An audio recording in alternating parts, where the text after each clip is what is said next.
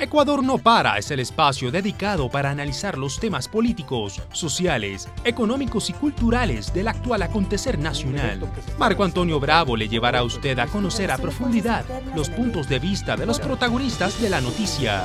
No se pierda Ecuador no para, todos los martes y jueves, 21 horas 30, por Tele Ciudadana y www.andes.info.es.